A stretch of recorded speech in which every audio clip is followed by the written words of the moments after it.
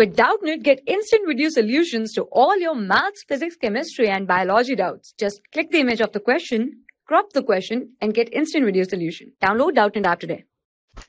Hello, we are given with a question, and the question says that an optician, while testing the eyes of a patient, keeps a charge of letters 3 meter behind the patient. So let us say the patient is sitting here, right? And the charge is 3 meters behind the person.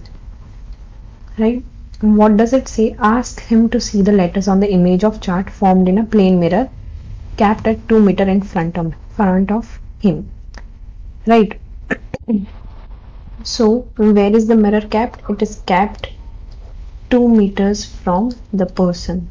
Right? This is a mirror now what has he told at what distance is the chart seen by the patient? So what would be the chart's image? Where would be it? So since the total distance between the object is 5 meters, the distance of the image from the mirror would be 5 meters as well.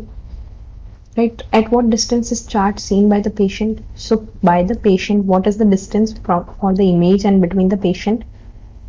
So the total distance between the patient distance between patient and image would be equal to 5 plus 2 so that is equal to 7 meters. Thank you. For class 6 to 12 IIT JEE and NEET level. Trusted by more than 5 crore students. Download Doubtnut app today